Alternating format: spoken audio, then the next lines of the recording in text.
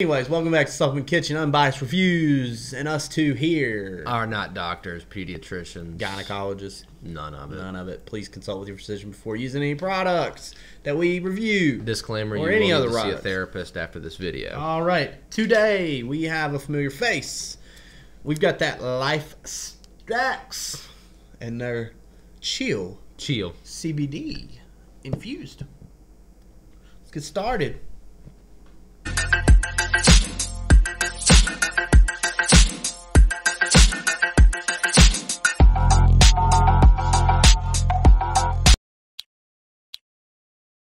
All right, welcome back. We are chilling in the kitchen with the chill pill. Yeah. Get it? Chill pill. Ah, it's funny. Life stacks back in the house here, and they're chill. Got that tan flavor. Ooh boy, it's like desert sand flavor. Yeah. Uh, but with- this is their. We already did their flow. This is their chill. Stop it. And serving size is what? Two caps. How do you take it? Uh, orally, you probably took it. I did. I put it. Yeah, that gets there quicker. Hey, whatever floats your boat. Uh, yeah. So it says take one to two capsules once or twice daily, or as directed by a healthcare professional, not us. Um, what does it say on here? It says mood, sleep, minerals. Yeah. So that's what it helps with. Um, there's some asterisks, like there would be more information, but I don't see more information. All right. Well, let's get into the label then. All right. So in the label, there is 50 milligrams of niacin, 10 milligrams of vitamin B6, uh, 60 milligrams of magnesium, 12 milligrams of zinc, 1 milligram of copper, uh, 250 milligrams of cat's claw extract, 200 milligrams of valerian root, 150 milligrams of lemon balm extract, 150 milligrams of ashwagandha root, 5 milligrams of CBD isolate, and 2 milligrams of lithium. Dude, they got my cat's claw. That's fucked. It'd be fucked up if they had some camel toe in here. Ooh, that's the next ingredient we coming up with. Yeah. Anyways, all right, let's get into the performance of how Chill delivers. Um, yeah, so I took this couple times, different times. I took it one time like right before bed, like as I was getting ready to lay down. I took it one time like about an hour out from bedtime, and then one time I took it like three hours out from bedtime. I wouldn't really recommend that you take it three hours out from bedtime because three hours out from bedtime turns into one hours out from bedtime. Um, yeah, one hour. I think one to two is where you're really gonna look. Um, you take it, I would say probably like half hour, um, and you really just start to like relax. You get that mood elevation. It just kind of seems like just a little relief.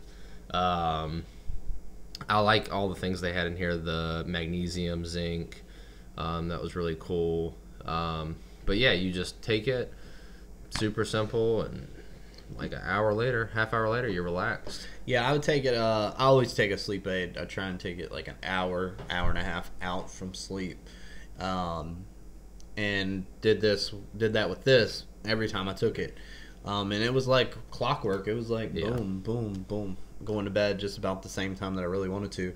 Um, I think, like you said, it kind of it doesn't like immediately come and sucker punch you to like help you fall asleep.